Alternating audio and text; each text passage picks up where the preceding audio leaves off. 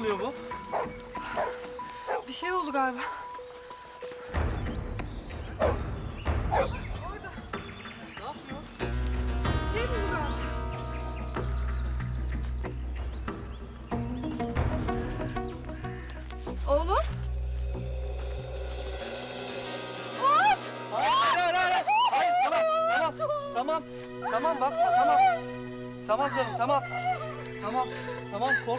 Tamam, tamam, yok bir şey,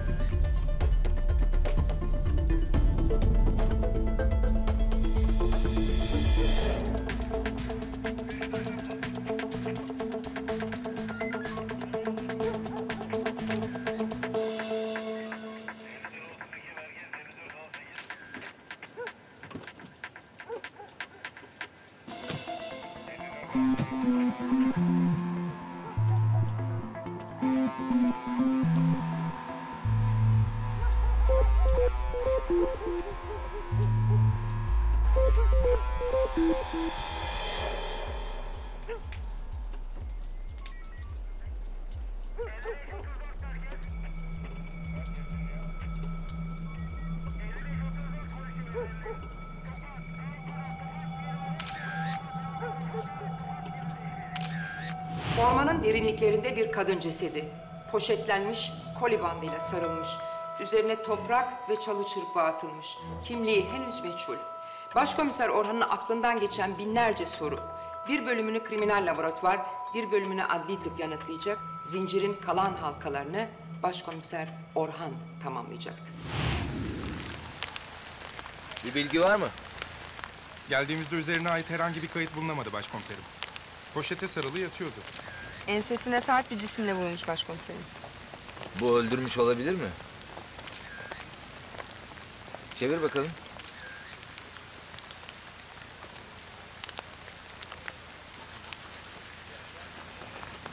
Doktor boğulmuş olabileceğini düşünüyor.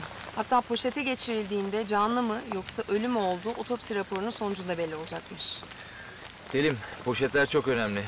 Üzerinde parmak izi olabilir. Koli bandını iyice bir incelesinler. Bakarsın şansımız yaver gider. Kaç günden beri buradaymış? Henüz net bir bilgi yok. Doktor en az 48 saat olduğunu söyledi. Hatta geldiğimizde burnundan, kulağından, yaralı bölgesinden cımbızla bir şeyler alıp kavanoza koydu. Anton mu, Into mu dedi anlamadım. Entomolog demiş olabilir. Böcek bilimi. Bir adli entomolog yani böcek bilimci kurbanın ensesindeki yaranın içinden ve çevresinden, burnundan, ağzından bazı canlılar toplayıp gitmişti. Bunları inceleyecek ve ölümden sonra geçen süreyi hesaplayacaktı. Görgü tanığı var mı? Pek gören yok, sadece bizi arayanlar. Şuradakiler işte. Cesedi de onlar buldu zaten. Yan yanalar. Beraber konuşuyorlar.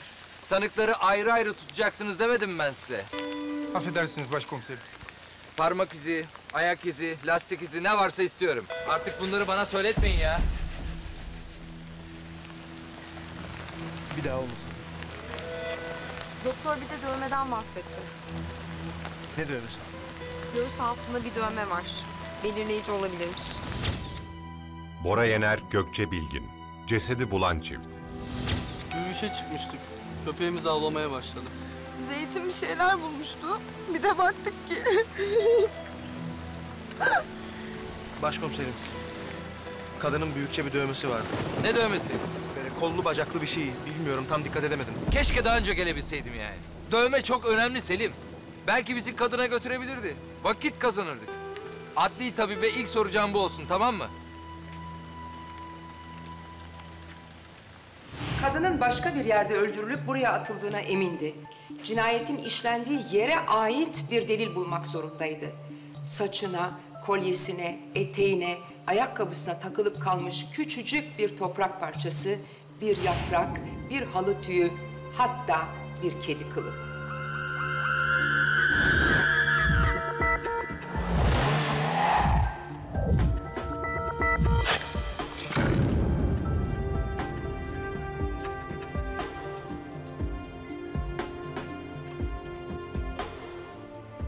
Cesedin bulunmasıyla adli tıpta hummalı bir inceleme başlamıştı.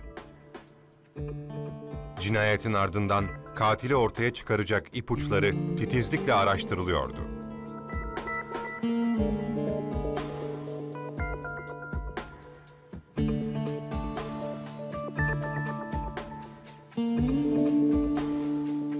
Poşet ve koli bandı üzerinde parmak izine rastlanmadı.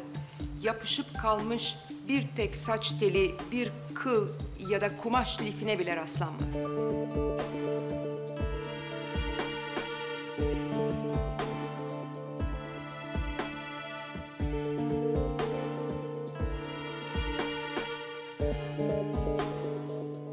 Nasıl öldürdü acaba? Başına neyle vurdu? Yoksa başına vurduktan sonra ölmediğini anlayınca boğdu mu? Poşeti kafasına geçirdiğinde hala nefes alıyor muydu? Bütün bunların cevabını otopsi verecekti. Orhan ve Selim, morga geldiklerinde işlerinin çok da kolay olmadığını düşünüyorlardı. Boyu 1.67, kilosu 55. Beyaz tenli siyah saçlı. Kemik ve diş yapısına göre 29-30 yaşlarında. Beslenme durumu iyi. Bundan bir ay kadar önce meme estetiği ameliyatı geçirmiş. Sağ memesinin altında bir dövme var. Kimlik tespitinde size yardımcı olabilir. Bu bir Hint dövmesi. Selim, hemen fotoğrafını bastır ve çoğalt. Bu arada İstanbul'da bütün dövmecilerin adreslerini bulmaya çalış tamam mı? Ölü sertliği kalmamış. En az 48 saat önce ölmüş. Öldürüldüğü yerde hiç bekletilmemiş. Cesedi bulduğumuz yere kadar götürülmüş. Ensesinden aldığı darbenin de öldürücü olduğunu düşünmüyorum. Her şey otopsi sonrasında belli olacak zaten. Başına neyle vurulmuş söyleyebilir misin? Sert, küt bir cisim. MR çektik. Yara içinden örnekler aldık. Metalin ne olduğunu araştırıyoruz. Saçlarının arasındaki toprak örneğinden alabilir miyim? Elbette. Ee, tırnaklarından biri kırıktı. Tırnak altından dokuları aldık. DNA profili için. Büyük ihtimalle saldırganla boğuştuğunu düşünüyorum. Ee, bu kadar mı? Şu meme estetiği ameliyatı var ya, çok başarılı bir ameliyat. Bunu yurt dışında yapmadılarsa, Türkiye'de yapanların sayısı bir elin parmaklarını geçmez. Peki sağ ol doktor. Ee, otopsi tamamlanınca ararsın herhalde değil mi? Tabii. Rigor mortis, livor mortis, algor mortis. Yani Latince ölü sertliği, ölü morluğu ve ölü soğuması. Tabii bir de çürüme. Doktor hepsini bir arada değerlendirmiş ve iki üç gün önce ölmüş olmalı demişti. Zaten tam da bir saat veremezdi.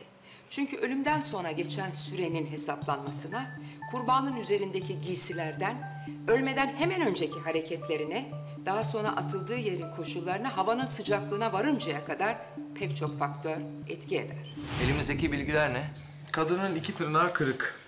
Boynunda ezik izleri var, direnmiş. Başına sert metal bir cisimle darbe almış. Muhtemelen levye ya da kürek. Ya da bana benzer bir şey. Ee, katil kadını çöp poşetine koymuş. Kadının ilginç bir dövmesi var. Ha bu arada üstünden kimlik falan çıkmadı yani kim olduğunu bile bilmiyoruz daha. Kayıp ihbarlarına baktınız mı son dönemde? Baktık ama bizim eşkale uyan biri çıkmadı. Cep telefonu? Cep telefonu da yok. Yani ya kullanmıyor ya da ormanda bir yerde düşürdü. Onu da araştıralım. Çocuklara söyle olay yerini incelesinler. Mobese'den bir şey çıkmadı. Ormanda zaten kamera yok. Şimdi şu dövmeyi bir araştıralım. Şimdi bin tane dövmeci var İstanbul'da. Yani gittik kim bilir hangisini yaptırdı. Kadın belli ki zengin. Öyle sıradan bir yerde yaptırmamıştır bu dövmeyi. Öyle de bu da sabahtan beri dördüncü oldu be başkomiserim. Uzatma da ver şu dövmeyi.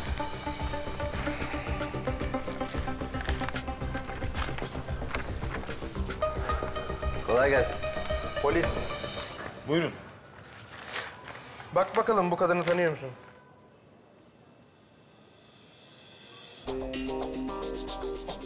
Hoş kızmış da daha önce görmedim. Bırak şimdi hoş kızlığını falan da bir dövme yaptırmış. Ha siz de mi aynından yaptıracaksınız? Yok hayır. Bu dövmeyi buralarda kim yapar? Galiba. Tamam. Bu tip dövmeleri yapan sadece biri vardır. İmzasını da atmış zaten. Uzak doğu dövmeleri yapar. Ondan başka da İstanbul'da bu tip dövme yapan yoktur. Adresi var mı? Bu yakınlarda Papatya Sokak. Yazabilir misin?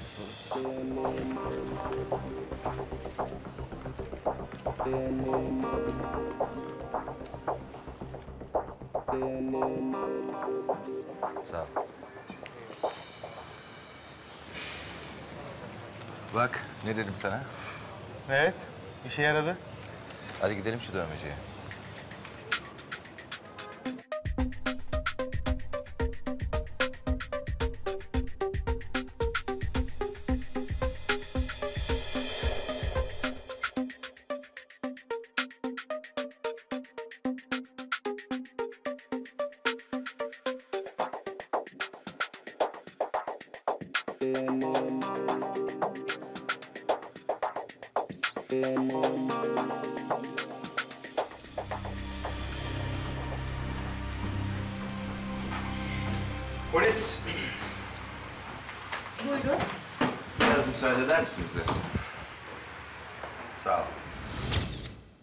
Cenan Yılmaz, 34 yaşında, dövmeci. Ne istemiştiniz? Bak bakalım bu kadını tanıyor musun? Evet, evet hatırlıyorum. Adını hatırlıyor musun? Adı... Adaydı. Evet adaydı. Peki bunu sen mi çizdin? Evet. Ne zaman? 2-3 ay oluyor sanırım. Çok güzel oluyor. Evet, benim de hoşuma gitti. Ne anlama geldiğini biliyor musun? Yo, hayır. Nedir?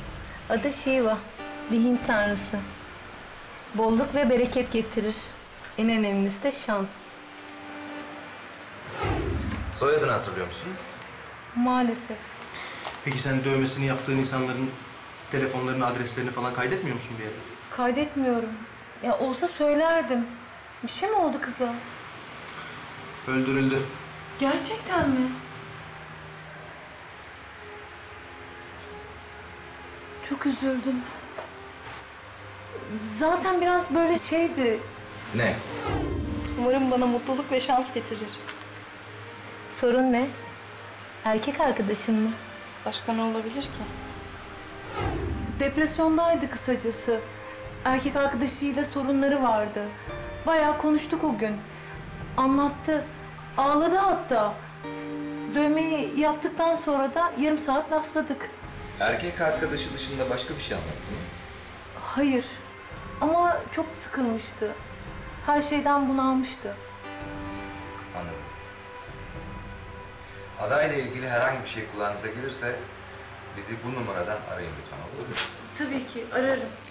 Kolay gelsin. Teşekkürler. Orhan ve Selim maktulün adını öğrenmişlerdi. Yapılan otopsi sonucu estetik ameliyat geçirdiği öğrenilen adanın doktoruna da ulaşmışlardı. Ada Taraça. 1980 Edirne doğumlu. Ameliyatı siz kendiniz yaptınız değil mi? Evet, henüz bir ay bile olmamıştı. Bu hafta içerisinde kontrolü vardı. Tek mi gelmişti? Hayır, yanında biri vardı. Sevgilisiydi herhalde. Ödemeyi de o yaptı.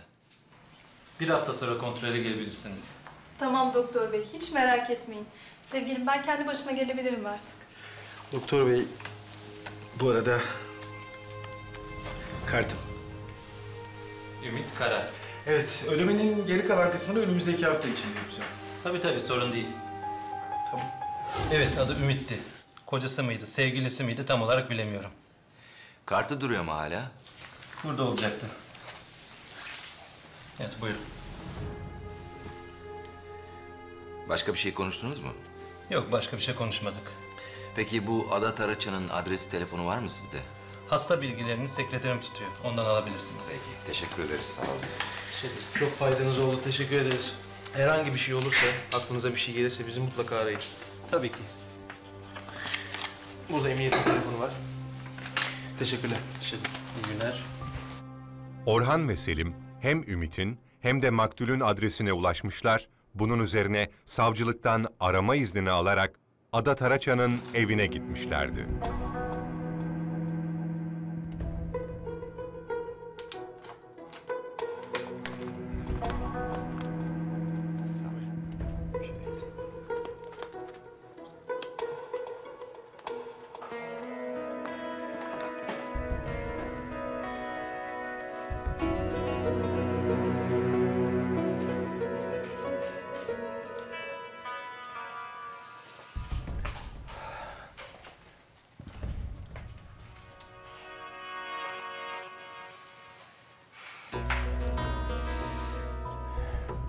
Gündür eve gelmediği belli. Bulaşıklar duruyor. Ekmekler küflenmiş. Ne dersiniz bir eve baktıralım mı? İyi olur. Bir Var. ekip gelsin. Komşulardan, güvenlikçilerden bilgi almamız lazım.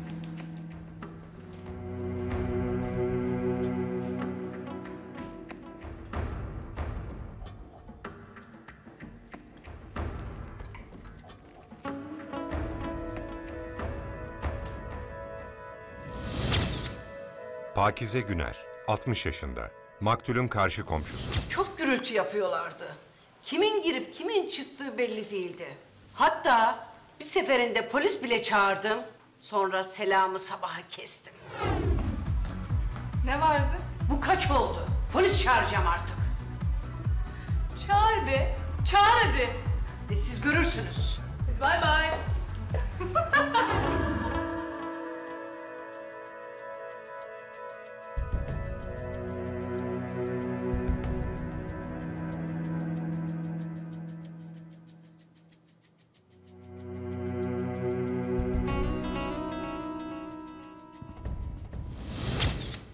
Erdal Sakin, 25 yaşında.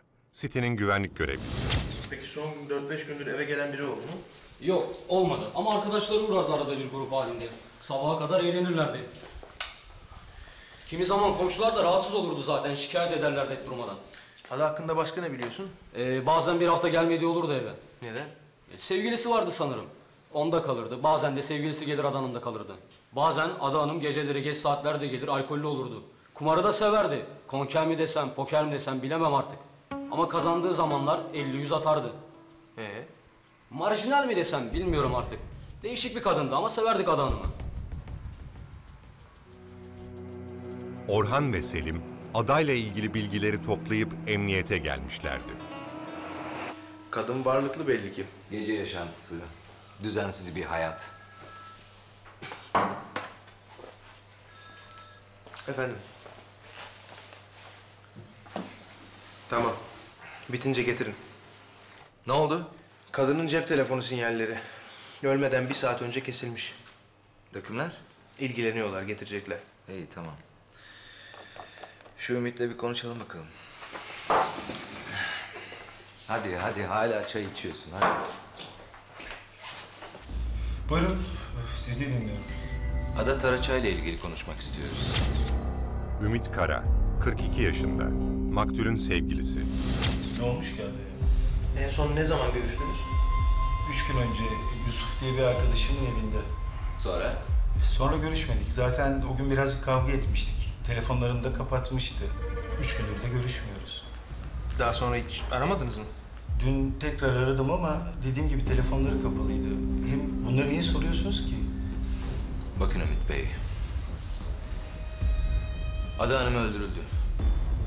Ne? Adayla, adayla bir senedir beraberiz. Bir arkadaş toplantısında tanıştık. Sonra uzun uzun sohbet ettik. Baktık ki birbirimizden hoşlanıyoruz. İlişkiye devam ettik. Aslında her şey çok güzeldi ama babam bir türlü bu ilişkiyi kabul etmiyordu. Ama ben bütün aileme sırt çevirdim. Çünkü adayı gerçekten çok seviyordum ve onunla evlenmek istiyordum.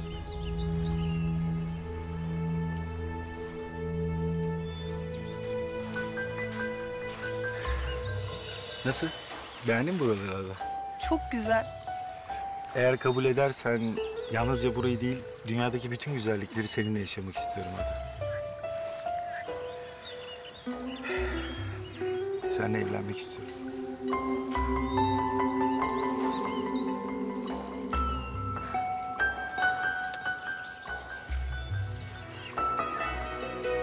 Kabul etmesini bekliyordum. Boynuma sarılmasını, evet demesini. Ümit. Biliyorum beni çok seviyorsun. Ama ben şu an hazır değilim. Benim için yaptıklarını, bana ne kadar değer verdiğini çok iyi biliyorum ama Ama ne Ada? Ama ne? bana biraz zaman ver Ümit. Zaman öyle mi? Yüzü aldığım gibi fırlattım. Bütün zamanlar senin olsun abi. Bütün zamanlar. Benden kopmuştu iyice. Uzaklaşmıştı. Ama ben beni sevdiğine inanmak istiyordum. Zaten bu yüzden evlenme teklif etmiştim ona. Yani her şey eskisi gibi olsun istiyordum tekrar. Neden değişmişti? Bilmiyorum. Sanırım sorunları vardı. Hatta belki de hayatında başka birisi vardı. Peki bir şey hissettin mi? Aslında hissetmedim desem yalan olur. Çünkü dediğim gibi son dönem hareketleri oldukça garipleşmişti. Sonra? Sonra o son gecenin öncesinde buluşmak istedim. Böylece kafasından geçenleri öğrenmek istiyordum. Sıkıntılarımızın sebeplerini çözmek istiyordum. Ada! Ada! Sorunumuz nedir? Sorun mu? Ada eskisi gibi değilsin. Sana öyle gelmiş. Ada, çocuk değiliz. Bak bunları konuşmamız lazım. Konuşacak bir şey yok Ümit. Ada elbette var. Benim bilmem gereken bazı şeyler var. Ne gibi? Güzel, ne gibi? Ada başka biri mi var? Onu da nereden çıkardın Ümit? Ya Ada inan bıktım artık bu kelime oyunlarından bıktım. Sorunumuz neyse onu bilmek istiyorum Ada. Ya yok bir şey diyorum sana anlamıyor musun? Tartıştık. Yusuf'lara gitmemiz gerekiyordu. Verilmiş sözümüz vardı aslında. Yusuf? Yusuf benim çocukluk arkadaşım. Hakan'da Durmuş da var. Arada bir toplanırız. içer, yer, eğleniriz falan. Peki bu arkadaşlarınla nasıl arası adamın? Ya ben adayı bütün arkadaş ortamıma sokmuştum aslında. Hepsi de severlerdi. Hatta Yusuf'un villasının dekorasyonu için yardımcı bile oluyordu ona. Yurt dışından bir şeyler falan getirmesini sağlıyordu. Neden? Zaten adanın daha önce bir dekorasyon şirketi vardı. Fakat işler kötü gidince kapattı. Hatta Hakan da kız arkadaşını bir hediye falan almak istediğinde direkt adadan yardım isterdi. Yani aslında herkes çok seviyordu onu. Neden neden böyle oldu inanın bilmiyorum ya. Devam edin Ümit Bey. Bize o geceyi anlatın. Saat sekiz, sekiz buçuk gibi falandı. Yusuf'un Zekeriya köyde villası var. Oraya gittik. Aa, Romeo Juliet geldiler. Aa, vallahi geldiler sonunda. Kapıdan girer girmez suratımız asık olduğu için arkadaşlar moralimizin bozuk olduğunu anladılar. Selam çocuklar. Hemen ortamı renklendirmeye falan çalıştılar ama ada bir köşede öyle sus pus oturuyordu. Adacığım kırmızı beyaz. Hangi şaraptan koyayım? Kırmızı. Sonra ben bir an adayı takmamaya karar verdim. Arkadaşlara katıldım. Onlara uyum sağladım. Hadi içeri biraz da kendimize gelelim. Ada Hanım. Hadi. Size de afiyet olsun Ada Hanım. evet Ada Hanım Ada, lütfen. hadi ya. Her zamanki hali işte. 40 yılda bir toplanıyoruz. Bugün korkuttu beni ya. Siz bana takılmayın. Eğlenmenize bakın. Ne oldu buna ya? Ha? Bildiğiniz ada işte her tavırlar değil mi çocuklar? Yabancı değilsiniz aslında. Ada herkesin keyfini kaçırıyordu. Ben bir süre sonra çok fazla içtiğimi fark ettim. Ümit, Efendim Ada. fazla içtiğinin farkında mısın canım? Ben gayet iyiyim Ada. Bir şey içmedik. Bir şey içmedik mi? Beş şişe şarap içtik. En çoğunda sen içtin. Ada lanet olsun. içtik ama iyiyim diyorum. Anlamıyor musun ya? İyiyim. Bayılana kadar iç olur mu Ümit? Masada Ada- yığılana kadar iç. Ada gayet... Arkadaşlar lütfen ya.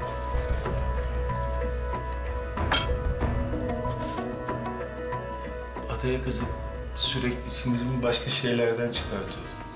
Ümit. Efendim? Nedir bu sorun ya? Nasıl çözülecek bu iş? Bana mı soruyorsun Yusuf? Kime sorayım Ümit? Oğlum oturup konuşsanız olur mu böyle ya? Ya çocuklar. Çocuk gibi küsülür mü abi ya? Abi niye bu kadar üstüme geliyorsunuz? Ama evlenme teklif ettim. Ve bana ne de biliyor musunuz? Zamana ihtiyacı var. Yapılmaz ya. Bana böyle bir şey yapılmaz komiserim. Ben ben bu kız için trilyonları teptim ya. Peki ailenle görüşüyor musun şimdi? Babamla hiçbir şekilde görüşmüyorum. Annem de yaşıyor muyum diye meraktan arada bir arar. Hemen kapatır telefonu. O gece başka ne oldu peki? Başka bir isteğiniz var mı efendim? Yok Sevcan, zaten geç oldu. Sen yatabilirsin. Yarın toparlarsın etrafı. İyi akşamlar. Bak Ümit, sen benim kardeşim sayılırsın. Üzülmeni istemiyorum. İstersen bırak ben konuşayım adayla.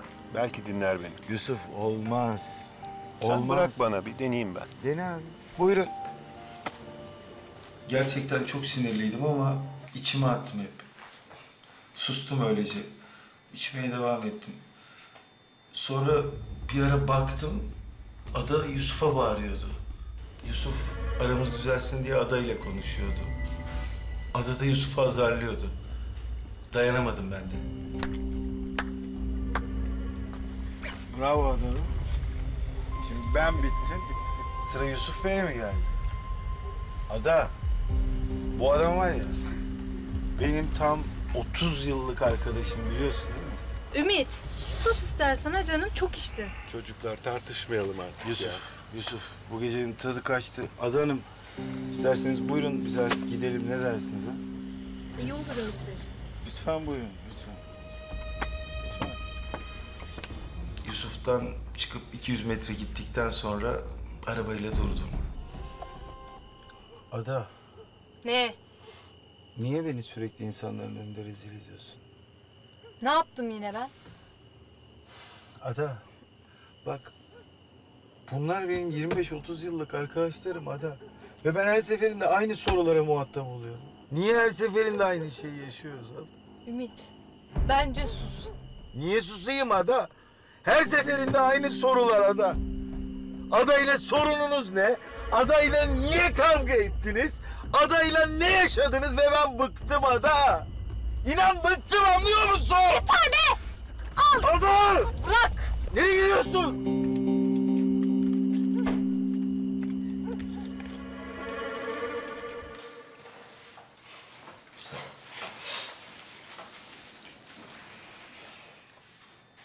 Bir süre bekledim.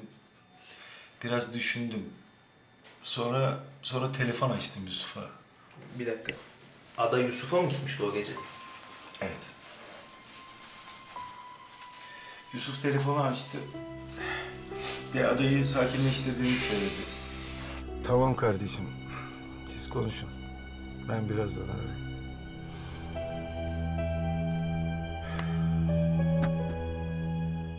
Sonra ne oldu? Sonra biraz daha bekledim ve tekrar Yusuf'a telefon açtım. Alo, Yusuf. Efendim kardeşim. Ada nasıl? Az önce odama çıktım. O da gidiyordu. Taksiyle mi gitti? Evet, yukarı gel de konuşalım hadi. Yok kardeşim gelmeyeyim de ya e, moral nasıldı giderken? Konuşmadık ki Ümit ya. Ya Yusuf ne oluyor bu kıza abi? Üstüne gitme Ümit. Sıkıntısı var belli ki. Anladım kardeşim. Ya çok teşekkür ederim Yusuf'um çok sağ ol. Ben kaçayım en iyisi. Sabah eve döndüm. Aradım adayı. Telefon kapalıydı. Bir şey olduğunu diye şüphe etmedin mi? Ya aslında etmedim. Çünkü bunu sıklıkla yaşıyorduk. Bana kızardı, öyle kapatırdı telefonunu. Açmazdı iki üç gün. Aramayınca sen ne yaptın? Dün evine gittim. Hatta kapıdaki güvenliklere de sordum. Onlar da görmemişler. Dediğim gibi çok önemsemedim çünkü bunu sıklıkla yapardı ada. Kapatır, telefonlarımı açmazdı. İki üç gün sonra kendiliğinden arardı zaten. Ben yine öyle bir şey sandım ama siz diyorsunuz ki... Tamam. Yüzündeki çizik. O gece arabada tartışırken mi oldu? Evet komiserim. DNA için swab örneği al. Emredersiniz başkomiserim. Geçen yüzyılın yıldızı tek yumurta ikizlerinde bile farklı olan parmak izleriydi. Bu yüzyılınki ise DNA. Çünkü her olay yerinde parmak izi bulunmaz. Bulunsa da karşılaştırmaya elverişli olmayabilir. Halbuki bir tek saç teli ya da bir kepek tanesinden bile DNA elde etmek mümkün. Üstelik sahibinin kadın mı, erkek mi olduğunu söylemek mümkün. Yakın bir gelecekte olay yerinde bulduğumuz bir kan lekesinden ya da bir tükürük lekesinden yola çıkarak o kişinin robot resmini bile çizebileceğiz. Bu arada Ümit'in arabası karış karış arandı. İçinde adanın birkaç eşyası ve saç tellerine rastlandı. Kan lekesine rastlanılmamış, adanın kırık tırnakları araç içinde bulunamamıştı. Olay yerinden alınan lastik izleriyle Ümit'in aracının lastik izleri birbirini tutmuyordu. Durmuş Korkmaz, 44 yaşında. Ümit Kara'nın arkadaşı. O akşam saat e, 7 civarı Yusuf'un villasına gitmiştim. Yusuf karşılamıştı beni ama bizimkiler ortada yoktu. Mangal yakacağımız için ben de mutfağa girip malzemeyi çıkarıp mangalı yaktım. Hakan Kafkas, 41 yaşında. Ümit Kara'nın arkadaşı. Ada ve Ümit daha gelmemişti. Sonra mangalı yaktık. Ada ve Ümit geldi. Suratları kötüydü. Tartışmışlardı birlikte. Ümit Ada'ya çok kızgındı. Aralarında ne olduğunu da bilmiyorduk. Konuşmuyorlardı. Ümit çok içmişti. Kendinde değildi. Ümit Ada'ya evlenme teklif ettiğini ama Ada'nın bunu kabul etmediğini söyledi. Çılgına dönmüştü. Benim olmazsa ya onu öldürürüm ya kendimi diye bağırmaya başladı. Hastalıklı bir sevgiydi Ümit'inki. Ama adanın öldüğünü duyduğum ilk anda kafamda şu cümle belirdi. Ümit mi yaptı acaba demiştim kendi kendime.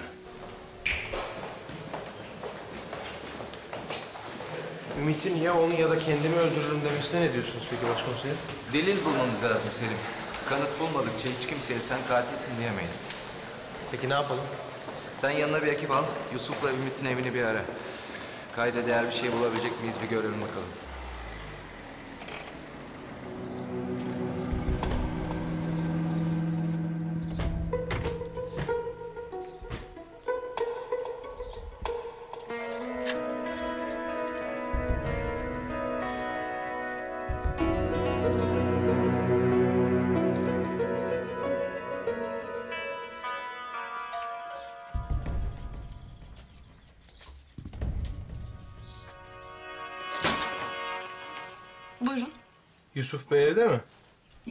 Kendisi iki gündür şehir dışında.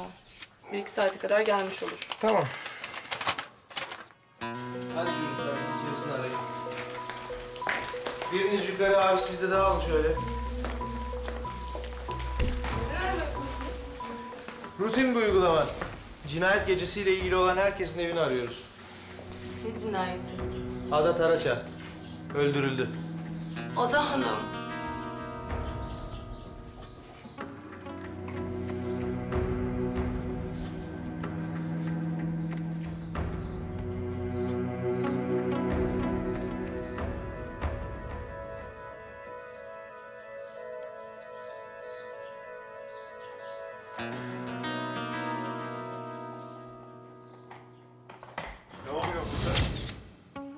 Yusuf Sarıoğlu, 40 yaşında, Ümit Kara'nın arkadaşı. Yusuf Bey, Evet. biraz konuşabilir miyiz? Tabii ne hakkında? Ada Taraça hakkında. Ada mı? Anlamıyorum. Selim, Yusuf'tan olay gecesi hakkında bilgi alırken Yusuf'un evindeki aramalar devam ediyordu.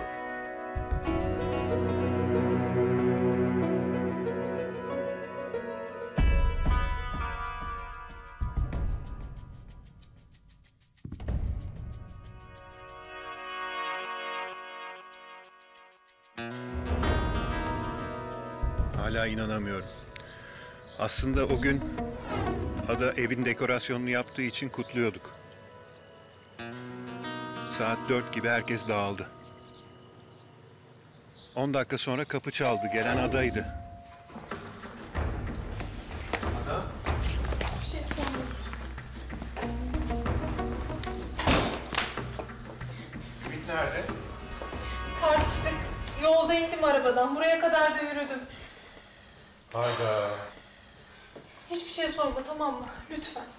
Konuşmaya çalıştım ama çok gergindi. Sinirini benden çıkarabilirdi.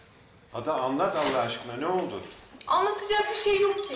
Biraz sakinleşeyim, gideceğim. Alo. Ümitçim. Evet, Ada şimdi bana geldi.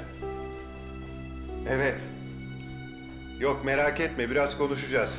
Tamam kardeşim. Siz konuşun. Ben birazdan ararım. Hadi eyvallah. Konuşmadı mı? Konuşmadı. Ne yaptıysam, ne ettiysem konuşmadı. Ben de kafamdaki soruyu sordum ona. Neyi? Senin hayatında başka biri mi var? Onu da nereden çıkardın ya? Ada insanın direkt aklına bu geliyor. Bütün tavırların değişti. Bunu sorgulamak sana düşmez Yusuf. Bana düşer Ada. Ümit benim kardeşim gibi. Onun üzülmesini istemiyorum. Yusuf, ben buraya sakinleşmeye geldim. Birazcık sakinleşeyim, eve gideceğim zaten, tamam mı? Peki sonra?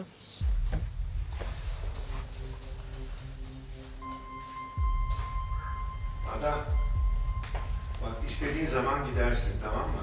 Taksinin numarası buzdolabının üstünde yazıyor. Tamam, Okey. Hadi iyi geceler. iyi geceler. Yattım ama 10 dakika sonra telefon çaldı. Ümit arıyordu. Adayı sordu. Ben de ona taksinin numarasını adaya verdiğimi söyledim. Sızmışım. Sabah kalktığımda evde kimse yoktu. Ben de adanın gittiğini düşündüm. Anlıyorum. Peki sizden başka kim vardı evde? Hizmetçim var ama saat iki gibi yatmasını söyledim ona. Nasıl? Koskoca evde başka kimse yok muydu? Bir de bahçıvanım var ama o, o gün babasını görmeye İzmit'e gitti öğleden sonra. Sevcan Uğur, 30 yaşında, Yusuf Sarıoğlu'nun hizmetçisi. Anlat bakalım, o gece ne oldu? Gece iki gibi odama gittim. Saat dört sularında bir araba sesine uyandım. Merak ettim kim diye. Pencereden baktığımda Ümit Bey'in arabası olduğunu gördüm. Başka? Tuvalete gittim, su içtim. Geri döndüğümde dışarıda bir taksi vardı. Farları odamı aydınlatıyordu. Ne kadar bekledi? Yaklaşık 10 dakika kadar falan. Gelen giden olmayınca da korna çalmaya başladı.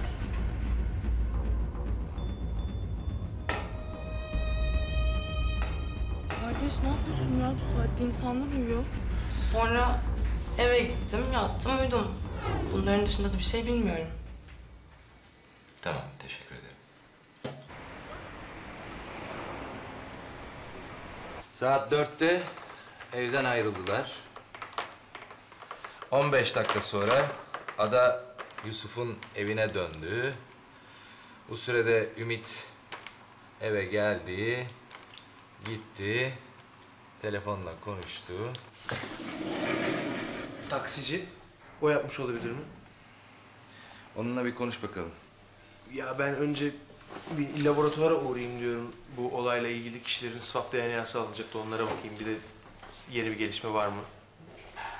Tabii tabii. Bak bak. İyi. Güzel kız. Bak. ya biz şimdi sadece iş arkadaşıyız yani. Sadece iş arkadaşıyız biz. Ben bir emniyet müdürüyle görüşeyim diyorum. Neden? Senin şu tayinini laboratuvara aldıralım. ne güzel sabahtan akşama kadar bol bol görürsün Zeynep'i ha. Ya tamam evet evet tamam. Sizin ağzınıza düştük bir kere. Evet tamam.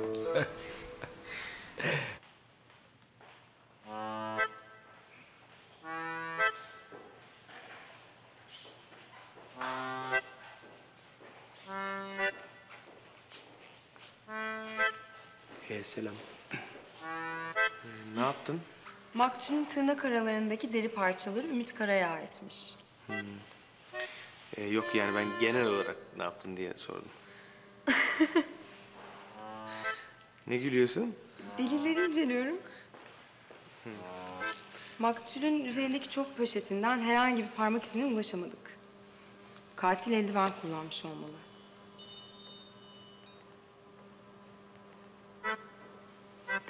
E sen bunları öğrenmek için gelmemiş miydin? Evet. Evet. Evet. Ee, tamam o zaman. Evet. hmm, Ben gideyim. Tamam. Ee, görüşürüz. Kolay gelsin. Teşekkür ederim.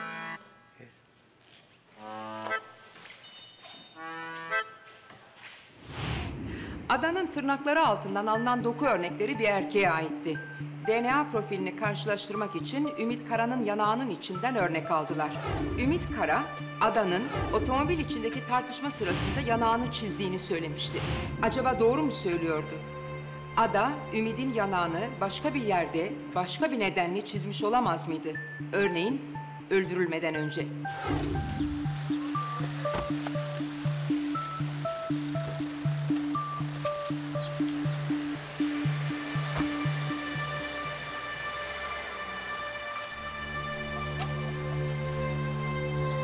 Kolay gelsin. Teşekkür ederim. Dört gün önce bu Yusuf Kara'nın villası var. Oraya hanginiz gitti? Saat kaçta? Sabah karşı dört. Ee, ben gittim ben. Seninle bir konuşalım mı biraz? Tamam olur. Olay gecesi taksicinin Yusuf'un evinin önünde bekleyip sonra yolcu almadan durağa döndüğü anlaşılınca dikkatler tekrar Ümit'in üzerinde yoğunlaşmıştı. O gece taksiciden önce oradaymışsın sen. Adayı sen mi aldın? Hayır. Herkesin içinde bağırmışsın. Ya kendimi öldürürüm ya da onu diye. Evet söyledim. Arabanın içinde kavga etmişsiniz. Senden ayrılmak istediğini söylemiş. Yüzünü de çizmiş. Bunlar suçlu olduğunu göstermez. Yeterli kanıt yok elimizde. Ya ben bir şey yapmadım. Babanla da konuştum. Seni evlatlıktan nasıl sildiğini anlattı. Tamam Ümit. Sence bu cinayeti kim işledi? Ya bilmiyorum. Ya tamam. Hadi bize bir şey söyle. Biz de senin cinayeti işlemediğine inanalım. Hadi. Ya neden anlamıyorsunuz? İnsan bu kadar sevdiği bir kadını öldürebilir mi?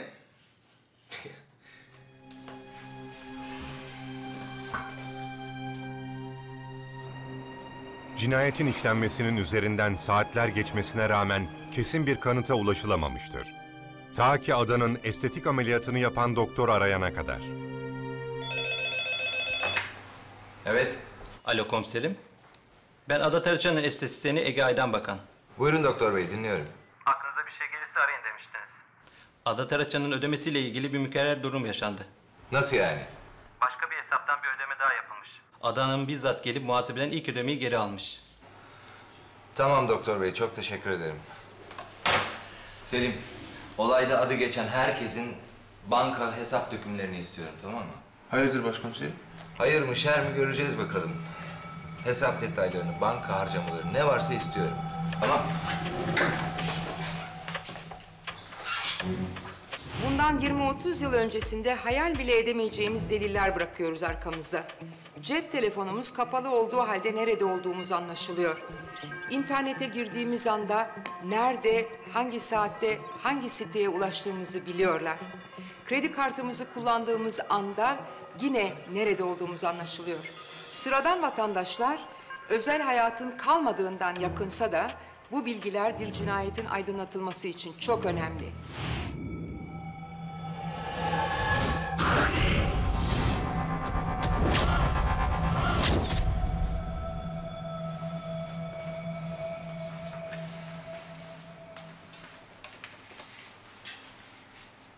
Alo Zeynep. Buyurun başkomiserim. Ee, bir şey soracaktım. Ee, Yusuf'un evinde bulduğumuz kutunun içinde bir not vardı. O notta ne yazıyordu? Hemen bakıyorum. Bir dahaki buluşmamızda Shiva. Shiva. Adı Shiva. Bir Hint tanrısı. Bolluk ve bereket getirir. En önemlisi de şans. Tamam sağ ol.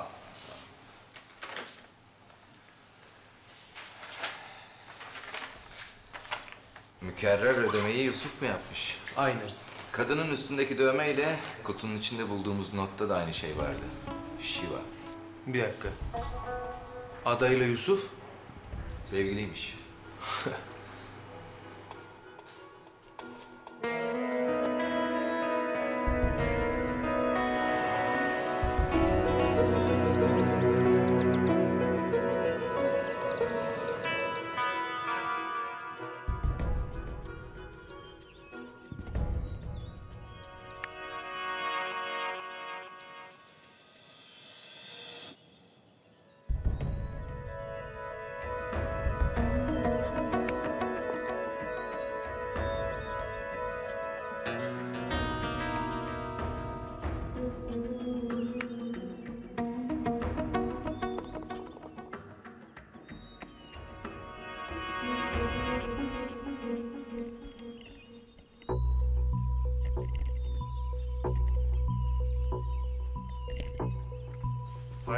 komiserim? Keyifli bir spor. Öyledir ama göründüğü kadar kolay değildir. Ada Taraçan'ın ameliyat parasını neden ödedin? Borç verdim. Ümit'ten almamış mı senden istedi?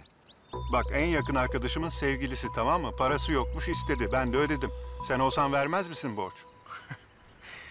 Vallahi en yakın arkadaşımın sevgilisinin silikonları düşüneceğim en son şey olur herhalde. Kendi kız arkadaşının silikon parasını ödersin ama.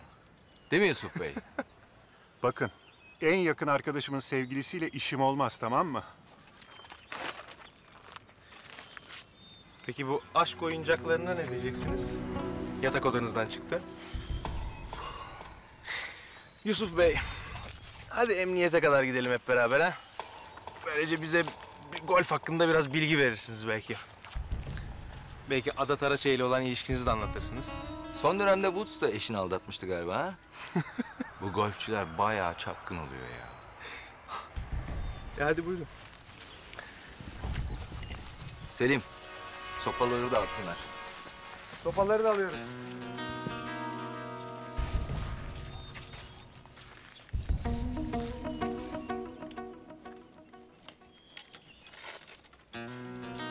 Laboratuvarda Ada Taraçan'ın yarasından alınan kum taneleriyle golf sopasından alınan örnekler inceleniyordu. Bu silikonların parasını öderken bu kelepçelerin parasını da mı siz ödediniz? Evet ben ödedim. Çok beğendiyseniz size de alabilirim. Ya ben renk seçiminde zorlanıyorum ya. Karar veremiyorum bir türlü. Hadi beraber mi çıksak almaya?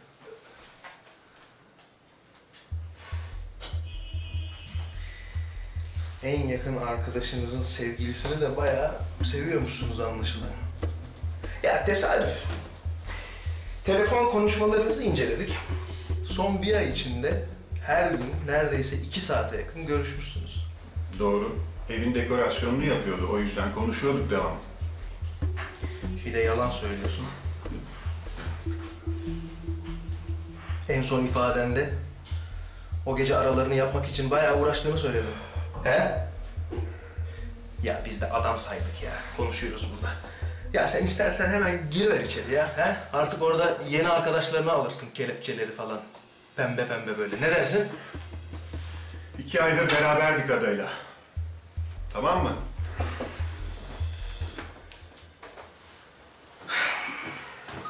Hani Ümit senin en yakın arkadaşındı. Benim de en büyük sıkıntım buydu zaten. Adayı hayatımdan çıkarmak istiyordum ama her seferinde daha çok bağlanıyordu. Ümit adaya deli gibi aşıktı. Onu her şeyden daha çok seviyordu. Ama ada onunla yürümeyeceğini biliyordu.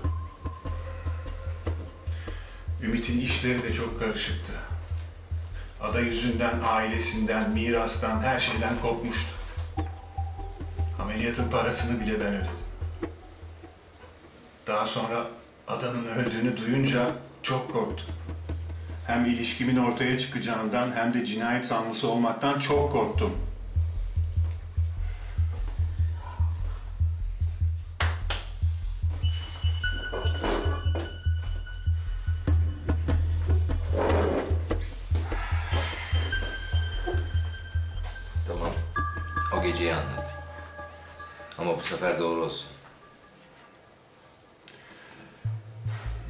Çok yalnız bir kadındı aslında. Ümit'le beraberdi ama yine de çok yalnızdı. Bana tutunuyordu. O gecenin sabahı 11 gibi bana geldi. Bugün ne yalan söyledin Ümit'e? Aramız zaten kötü. Konuşmuyoruz. Hiçbir yalan söylemek zorunda kalmadım. Peki ya ararsa, nerede olduğunu sorarsa? Umurumda bile değil. Ben seni çok özledim. Biliyor musun? Artık hep seninle olmak istiyorum. Bugün Ümit'e ayrılacağımızı söyleyeceğim. Ada, saçmalama. Bir daha düşün. Ümit seni çok seviyor. Sakın bana bir daha böyle bir şey söyleme Yusuf. Ben de seni çok seviyorum. Tamam mı? Saat beşe kadar beraberdik. Ada daha sonra Ümit'le buluşmaya gitti. Zaten akşam barbeküye bana geleceklerdi. Eve geldiklerinde suratları bir karıştı zaten. Adacım kırmızı beyaz. Hangi şaraptan koyayım? Kırmızı. Bunu bilmeniz gerekmiyor muydu? Çok sevimlisiniz bu akşam. Teşekkür ederim. Ümit adanın onu aldattığından hiç şüphelenmedi mi yani? Sanırım şüpheleniyordu çünkü bir keresinde bana Ada çok uzaklaştı. Acaba hayatında biri mi var diye sormuştu. Sen olduğunu anlamadı yani. Garibim Ümit. Aklından bile geçirmezdi. En yakın arkadaşıydım ben sonuçta. O gece çok içkiliydik. Sen ya. Üşümüşündür diye ısıtayım dedim seni biraz Bana ya. bak Ümit her şeyi fark edecek. Saçmalama. Bağırma duyacaklar. Ne yaptığını zannediyorsun sen ya? Üşüyorsundur diye ya. Ümit her şeyi fark etsin mi istiyorsun? Ümit sarhoş fark etmez hiçbir şeyi. Bana bak çek elini ayağını. Bravo adamım. Şimdi ben bittim. Sıra Yusuf Bey'e mi geldi? Ada, bu adam var ya, benim tam 30 yıllık arkadaşım biliyorsun değil mi? Az kalsın ağzımdan kaçıracaktım ilişkiyi. Gerçi herkes alkollüydü. Anlamayabilirdi. Sonra? Saat dört gibi gittiler. Ümit'le Ada arabada tartışmışlar. 5-10 dakika sonra kapı çaldı. Ada geldi. Ümit arabada bekliyor. Bu saatte buraya geliyorsun. Ne oldu canım? Ümit'ten mi korktun kapının önünde diye ha? Daha bu sabah en yakın arkadaşın sevgilisiyle yataktaydın. Ne haber? Ee, yeter be! Ne yeter? Yeter! Uğraşamayacağım seninle. Ben yatıyorum.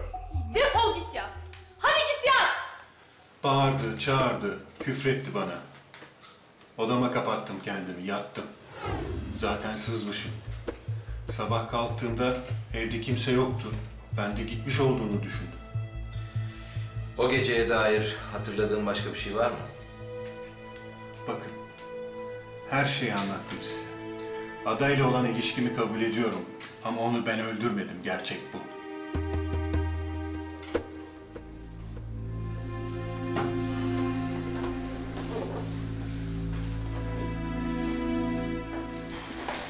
Başkomiserim? Yusuf'un cinayeti işlediğine dair ortada hiçbir kanıt yok. Gözaltı süresi doluncaya kadar bir şey çıkmazsa serbest bırakın. Emredersiniz. Ha bu arada Adanın otopsi raporu geldi mi? Geldi. O işi atlama Selim. Atlama. Son 20 yıldır kan lekelerinden dahi sahibinin hamile olup olmadığı anlaşılıyor. Adanın otopsi raporunda HCG adlı bir hormonun varlığından söz ediliyordu. Yani diye sordu Başkomiser Orhan. "E, HCG değişik nedenlerle yükselebilir dedi doktor. Ama bütün bulguları değerlendirdim. Bana göre Ada hamileymiş. Laborantlar çocuğun babasının kim olduğunu öğrenmek için hemen DNA eşlemelerine başladılar.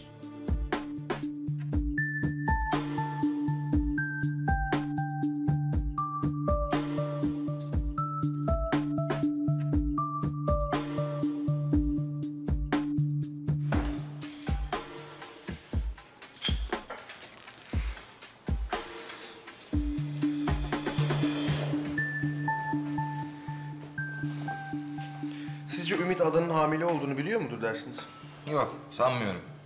Zaten evlenmek istiyormuş. Adadan çocuk istiyormuş. Ben Ümit'in Adanın katili olduğunu da düşünmüyorum. Nereden vardınız bu kanıya? Ümit ne kadar sinirli bir adam olursa olsun hayalini kurduğu bir aileye zarar vermez. Şu Ümit'le bir daha konuşalım.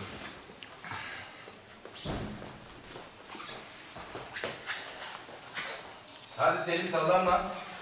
Ümit'in aldatıldığından ve adanın hamile olduğundan haberi yoktu. Bu durumda Orhan Başkomiser'e göre Ümit suçlu olamazdı. Serbestsiniz. Sağ olun. Çocuklar sizi eve kadar bıraksın. Şehir dışına çıkmak yok.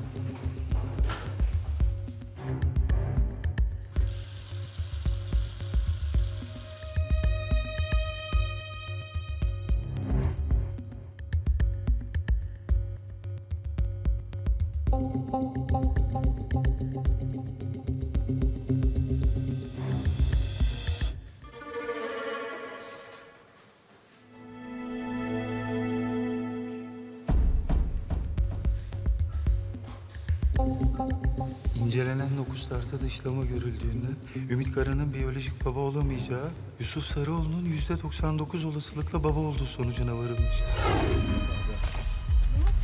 Sen ya. Gel.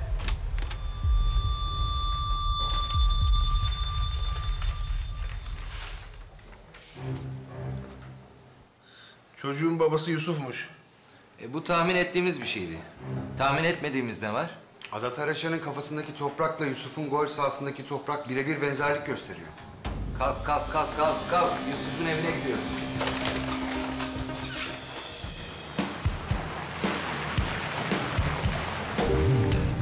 ...45-25'ten merkeze Yusuf Sarıoğlu'nun evine Zekeriya Köy'e gidiyoruz. Destek istiyoruz anlaşıldı mı? Tamam.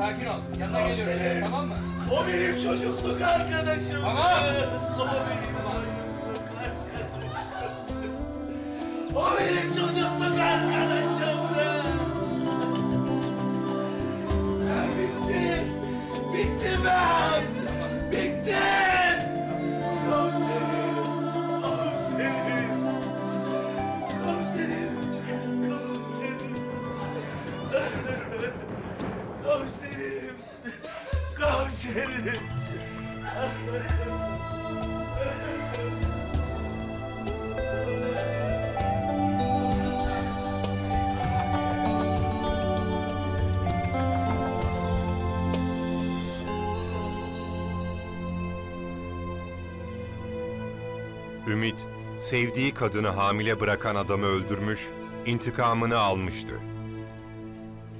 Mahkemeye sevk edilen Ümit, tutuklanarak cezaevine gönderildi.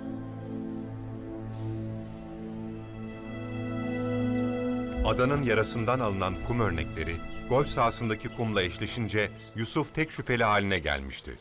Ancak yeniden ifadesi alınıp suçu kanıtlanamadan Ümit tarafından öldürülmüştü. Başkomiser Orhan'ın adanın katilinin Yusuf olduğunu kanıtlamak ve dosyayı kapatmak için başka delillere ihtiyacı vardı. Baksana bir dakika. Ateşin var mı?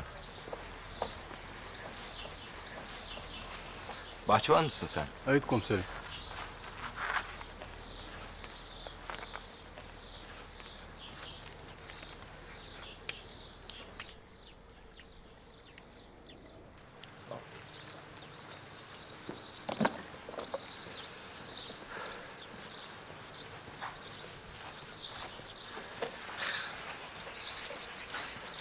Hizmetçi adayla Yusuf'un ilişkisini doğruladı. İşsiz kalmaktan korktuğu için söylememiş başında. Henüz adanın nerede öldürüldüğünü bilmiyoruz. Bilmiyoruz. Yani taksi boş gittiğine, Ümit de adayı almadığına göre Ada bu bahçeden hiç çıkmamış olmalı. Olay yer incelemeye söyle burayı didik didik arasınlar tamam mı? Başına.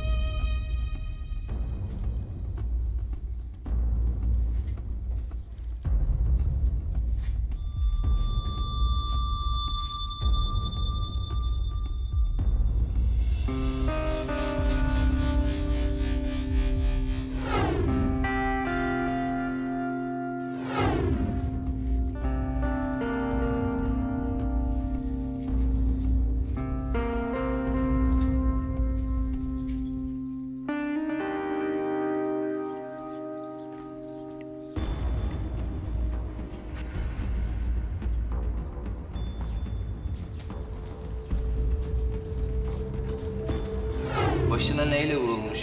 Sert, küt bir cisim. Ada Taraçan'ın kafasındaki toprakla Yusuf'un gol sahasındaki toprak birebir benzerlik gösteriyor. Ama onu ben öldürmedim. Gerçek bu.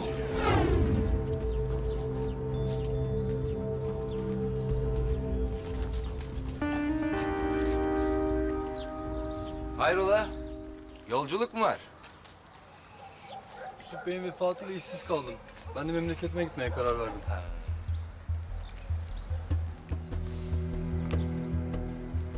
Bagajı hep böyle temiz mi tutarsın ya? Yusuf Bey çok titizdir. Tek damla çamur istemez. Adın neydi senin? Hasan. Hasan. Burada mı yaşıyorsun Hasan?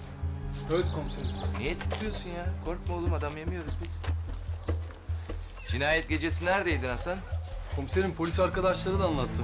Ailem İzmit'te. Onları ziyarete gitmiştim. Kaçta? Akşam üzeri.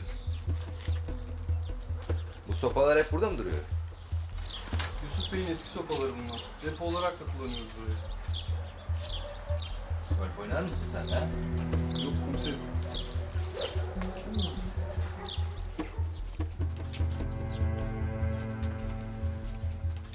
Vay vay vay vay vay.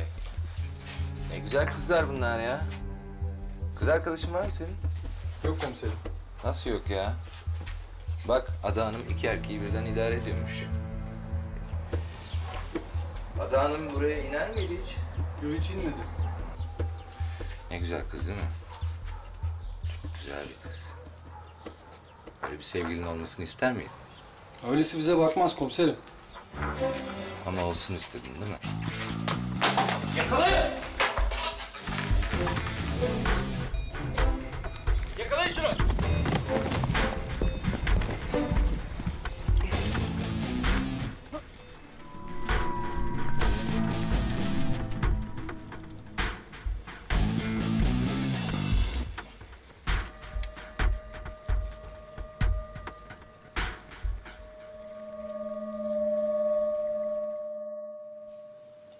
İzmit'e gidecektim.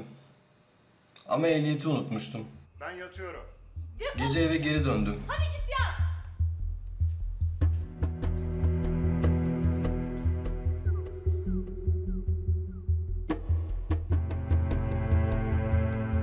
O gece evde parti vardı biliyordum.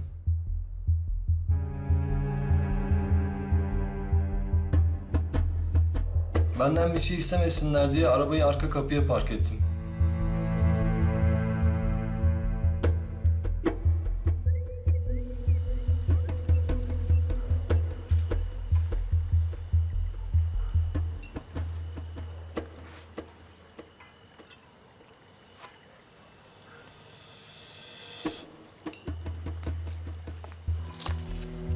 Dağılmıştı. Sonra Ada Hanım'ı gördüm. Bahçede yalnızdı, içiyordu.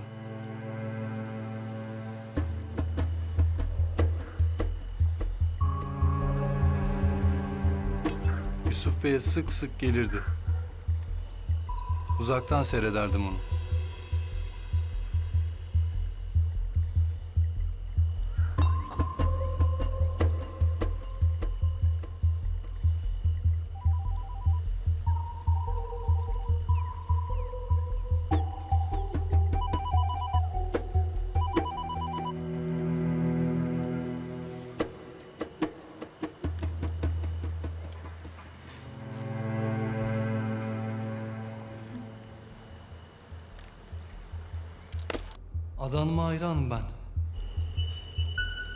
Saçlarına, gözlerine. Ümit yerine seni seçtim ben Yusuf. Ümit'in yerine seni. Ama ben de Ada Taraçaysam senin burnundan fitil fitil getireceğim. Açacaksın böyle kollarını. Ada, Ada gel diyeceksin. Ama ben olmayacağım. Onu öyle görünce cesaretimi topladım. Olmayacağım. Nasıl olsa sarhoştu. Hanım iyi misiniz? Sen miydin Mehmet ya? İyiyim. Hasan ben. Ha. Bahçıvan Hasan değil mi? Evet. Tamam hatırladım seni. uh. Sigaran var mıydı?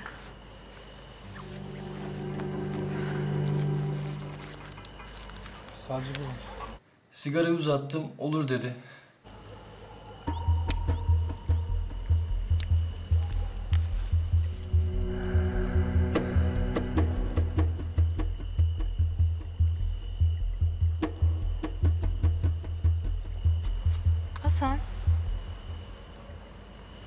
Sevgilin var mı?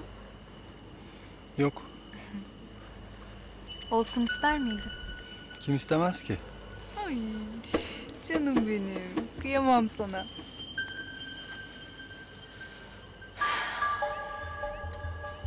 Sen de onlar gibi misin? Hayır. Nasıl yani? Onlar gibi bencil değilsin. Yo değilim.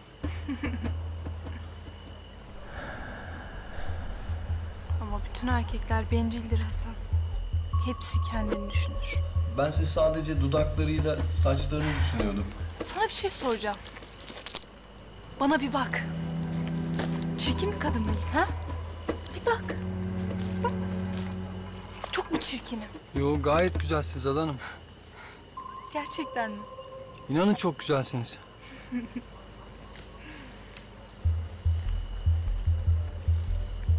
O zaman beni neden üzüyorlar Hasan? Hı? Bunlar beni neden üzüyor?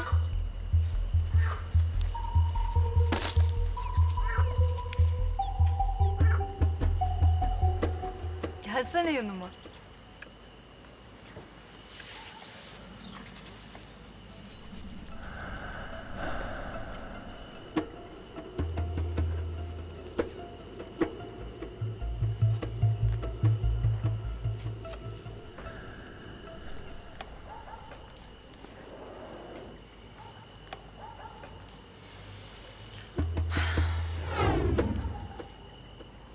Saat kaç oldu? Beşe geliyor. Hadi ya. O kadar oldu mu? Vay be.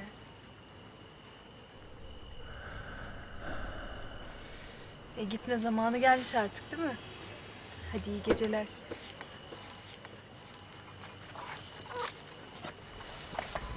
Ada Hanım. Sizi ben bıraksaydım. Neyle bırakacaksın beni? Size layık değil ama benim de bir arabam var. Nerede? Hemen şurada aşağıda. Orada yer mi varmış? Şu zamana kadar bu eve kaç kere geldim gittim. Daha burada bir yer olduğunu bilmiyorum. Adayla yürümeye başladık.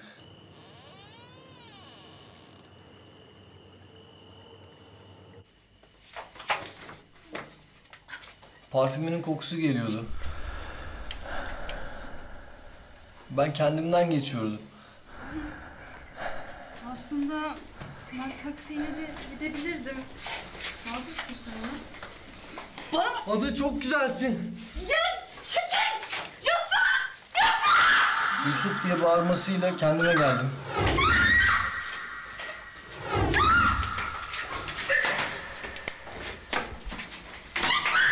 Yanımda golf sopası vardı. Kafasına vurdum. Yere yığıldı. Ne yaptığımı bilemedim. Her şey bir anda oldu.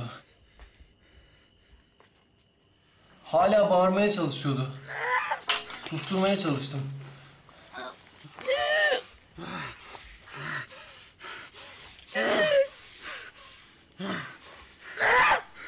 Çok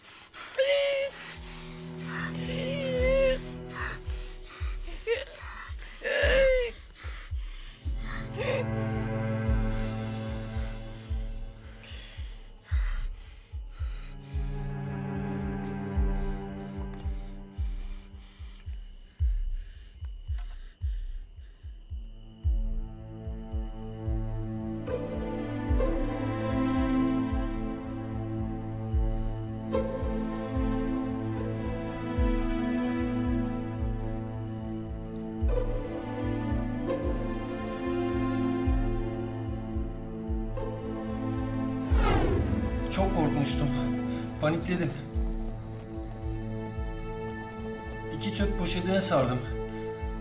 Sonra götürüp ormana gömdüm. Çantasını, cep telefonunu denize attım. Nasıl olsa kimse beni görmemiştir diye İzmit'e gittim. Ölmesini istemezdim.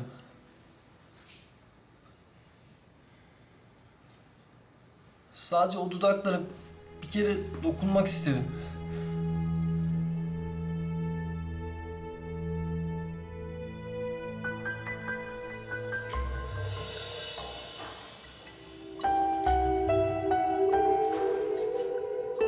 5237 sayılı Türk Ceza Kanunu'nun 82. maddesine göre Hasan Şahbaz, kasten adam öldürme suçunu tasarlayarak işlemesi sebebiyle değiştirilmiş müebbet hapis cezasına çarptırılmıştır.